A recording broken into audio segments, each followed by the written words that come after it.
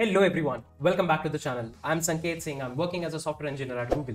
And in this particular video, I'm going to tell you five most important topics that you should definitely revise before you appear for your JavaScript or front-end engineering interviews. These five topics, I believe, are one of the most important ones. And to be very honest, if you will revise and get all of the related concepts very well, then definitely you are going to do very good in your interviews. I'll be telling you two to three good resources using which you can actually refer and learn these topics. So without any further delay, let's just start. But before starting the video, if you have not yet subscribed to the channel, do consider subscribing to the channel. We are going to put some really awesome content on this particular channel. So without any further delay, let's just start. So the first and the most important topic that every JavaScript developer must know is how exactly JavaScript handles asynchronous task. Being synchronous in nature itself, how exactly JavaScript is able to do all of these asynchronous tasks like running timers, downloading content, doing DOM manipulation, all of these stuff, right? You should definitely be aware about how exactly JavaScript executes all of this. While you are going to learn all of this, you are going to get introduced to a lot of concepts, right? For example, something called as event loop, micro task queue, macro task queue, promises, async await, iterators generators, etc. Right? Whenever you will appear for a JavaScript interview, there is a high likely chance that the interviewer might give you two to three type of questions. For example, they might give you a question and then ask you to predict the output. And generally these questions are based on the asynchronous nature of JavaScript, right? So you should be having a good, fair understanding of how exactly event loop works, how exactly the runtime comes into the picture in order to execute the asynchronous task, how JavaScript communicates all of this, right? What, what is the role of these macro tasks as well as micro task queues, all of these things, right? Apart from that, having good knowledge of promises is very, very, very important. So I would highly recommend you guys to make sure that you learn the basics and fundamentals of asynchronous programming well. Try to write some code. For example, a very good exercise can be that you can write a bunch of callbacks based asynchronous handled code and then try to convert all of those codes into promise based syntax, right? This actually gives you a fair understanding of how exactly things work. Apart from that, a lot of people think that callbacks just have problems of callback hell. Try to read more about callbacks that learn about what is inversion of control. All of these topics becomes very important when you actually appear for an engineering interview because just knowing how exactly to work something on the front end or just pull off something using react is not necessary because there might be a case that the team that you will land up on might be working on some internal libraries that will be powered by javascript. And if you will know the core root concepts of javascript it is going to be extremely helpful for not only you but even the company. So this is my first recommendation that make sure that you do revise this particular concept if you're someone who is also preparing for their upcoming interviews in JavaScript and still struggling that how to learn data structures and algorithms and all the important advanced concepts of JavaScript like coercion, scopes, closures, asynchronous nature of JavaScript and whatnot, then don't worry. We at AlgoCamp have a brand new course on data structures and algorithms in JavaScript. This is a completely self-paced recorded course where we also conduct live classes every three to four weeks. In this course, we cover end-to-end -end data structures and algorithms. And this course doesn't expect you to be an expert or intermediate programmer already. If you're someone who doesn't know anything about programming or have some beginner idea about programming in any programming language, this is a one-stop solution for you to prepare data structures and algorithms in JavaScript along with all the important advanced concepts of JavaScript. In this course, we start with absolute basics of introduction to programming with JavaScript, basic conditional loops, functions, and then start our algorithmic journey with pattern problem solving, some mixed problem solving, problems around loops and strings. We discuss about arrays and objects, and we discuss a tons and tons of problems around arrays and loops. Then we also discuss the two pointer algorithms. We also try to discuss about 2D arrays and problem solving around 2D arrays we discuss about recursion, bit manipulation, we talk about time and space complexity analysis, all the important sorting algorithms like merge sort, quick sort, and you can see dedicated problem solving and all the advanced analysis of all the sorting algorithms are there. Then we also talk about searching algorithms like binary search. Right. We also talk about data structures like linked list. We talk about stacks, problem solving around stacks, monotonous stacks, queues, problem solving around queues, hashing, problem solving around hashing. We talk about binary trees, we talk about binary search trees, heaps, greedy algorithms. We also talk about dynamic programming, 1D, 2D, multidimensional DP in JavaScript. That's the best part. Along with graph algorithms, shortest path algorithm, minimum spanning trees and whatnot. You can see all of these are the most important concepts that you need to learn if you're learning data structures and algorithms. And if JavaScript is a first language or you are willing to learn all of this in JavaScript because you have more uh, interest intended towards JavaScript or you are a front-end engineer, then this is going to be a one-stop solution. Here we will also talk about all the important advanced concepts of JavaScript like coercion in depth, asynchronous nature of JavaScript, promises, closures, scopes, and whatnot. So what are you waiting for? The course is priced at just 2450 with a one year validity, right? This is going to be an absolute one-stop solution and you can just check out the website of algocamp.io. I will link this course in the description section below. Do check it out and let's move on to our video. So the second most important point that you should definitely be aware before you appear for your engineering interviews is how exactly objects are maintained in JavaScript. What is prototypal inheritance and how exactly objects are related to it.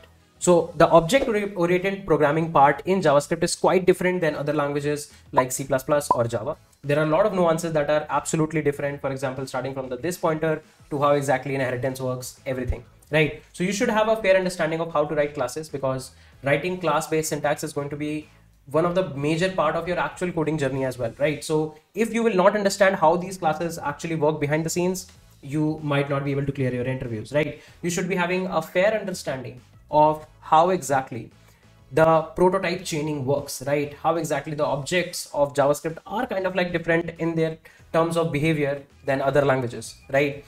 What exactly the class-based syntax actually introduces it to because earlier JavaScript was not having this class-based syntax. So how people were able to pull off all of this just by using functions. You should have a fair amount of understanding around what is exactly done.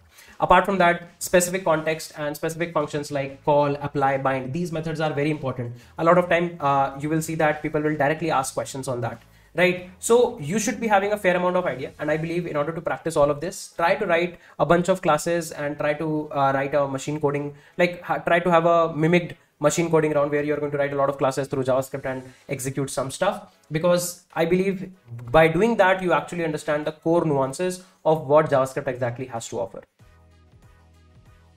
So the third most important point that you should definitely revise before your next engineering interview is what are the new features that were introduced in ECMAScript 6, right? For example, starting from things like arrow functions to uh, keywords like let all of these things destructuring uh, syntax right modules all of these things you should definitely try to learn. Do have some context about all of this. It's not like people are going to actually ask you syntax based questions but having the knowledge and context about these will help you a lot in the interviews. For example i was when i was giving the front end engineering interview for Sprinklr i was also asked a lot of questions around a bunch of functions.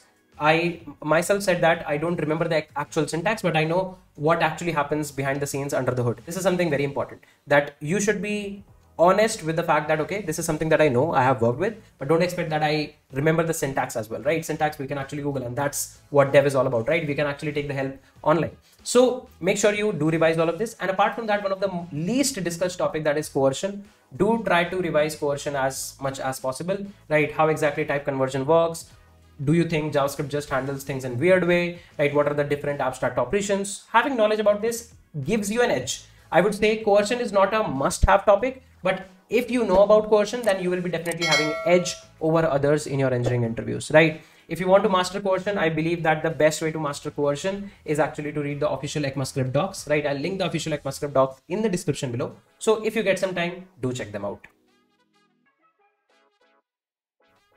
The fourth point that definitely you should never even think to skip is lexical scoping. Yes, JavaScript handles scopings in a bit different way, right? You should be having fair understanding of how exactly scopes work in JavaScript. A very famous question, a very common question is the differences between var, let, and const. And the major difference between these three keywords actually come from how they handle the scopes. You should be having fair knowledge of block scoping, function scoping, and how exactly lexical scoping works in JavaScript, whether JavaScript is compiled or interpreted, how exactly the variables are scoped, right? What value will be assigned to a particular variable in a particular set of execution. In involvement of strict mode in the scoping behavior. auto global mechanism all of these things you should be definitely be aware about when you're actually going to appear in your interviews because a lot of time uh, there will be predict the output based questions on scopes as well right most of the questions that were asked to me at least this can be specific to me as well but most of the questions that were asked to me in Sprinklr if i give just the example of the Sprinklr engineering interview then most of the questions were on prototypal inheritance and scopes in pro prototypal inheritance they even asked me to actually add a function to the prototype of an object right and in scopes there were tons and tons of predict the output based questions so I believe having knowledge of scopes is very important. And when you actually write your code, having good knowledge of scopes actually improve the overall code quality that you actually deliver as a JavaScript engineer. So this is definitely a must have concept that you should definitely remember. Cut. So one more bonus point that I would like to mention in this video is going to be closures. Yes. So if you have good knowledge about scopes, and you already know about asynchronous programming, then definitely you must have heard about closures, right? Closures is going to be one of the most tricky topics that if you are given a question on, you might be getting confused, right? So having knowledge of how exactly the variable access exists, even the function does not exist anymore, things like these makes the concept of closure a bit more difficult and confusing. So I would recommend that if you are appearing for an interview, first of all, focus on your scopes and asynchronous programming part. And when you will be actually learning all of this, in between only you should try to learn about uh, closures because getting exam better examples of closures is very easy if you have good knowledge about scopes as well as the asynchronous programming part. A lot of time people think that in their upcoming front end in engineering interviews, a very big and very heavy focus might be on DOM manipulation or React or anything. Yes, there is a lot of questions around how exactly you can efficiently update the DOM, questions around virtual DOM, React hooks, how the hooks under, under the hood work. But all of this, at least in my opinion, are majorly 20 to 25% of the interview part. Remaining is very heavily focused on JavaScript because if you claim yourself to be a front-end engineering uh, uh, engineer, then and you don't know JavaScript, then it doesn't make a lot of sense, right? And the biggest, I would say, friction in becoming a good 10x level front-end engineer is having good knowledge of JavaScript only. Because frameworks like React or let's say frameworks like Angular, all of these frameworks evolve with time, right? Like if you go 2015, 2016, a lot of class-based components were relevant in React. Nowadays, function functional components are more relevant along with hooks in React, right? So these frameworks and their technologies change, but the under the hood concept that remains is how exactly JavaScript handles all of these things that's why even in interviews you will you can expect that there will be a heavy uh, i would say weight given to how much you actually know about javascript so definitely if you are appearing for your upcoming interviews do make sure that you learn these four as well as the bonus topic that i mentioned now let's talk about if you want to learn all of these topics where you can actually learn from so I would like to mention some of the very cool and must have resources that I also referred when I was learning JavaScript. The first one is the series of books that, that is called as You Don't Know JS by Kyle Simpson. Trust me, it's one of the most interesting and one of the best JavaScript fundamental book, right? There are five parts, five series to this book. So it can be a bit uh, overwhelming for a, a lot of people. But if you can actually go through all of them, you will get an immense amount of knowledge, right? apart from that i would highly recommend you guys to regularly do go through what are the new additions that are done in the latest version of javascript by looking at the official documentation of javascript trust me if you want to learn the concept of coercion and the es6 features there is no other better resource than ECMAScript docs, right? A lot of people think that MDN docs are the official docs. That's not the case. ECMAScript releases their own official docs for every version, and that is something that you can definitely refer.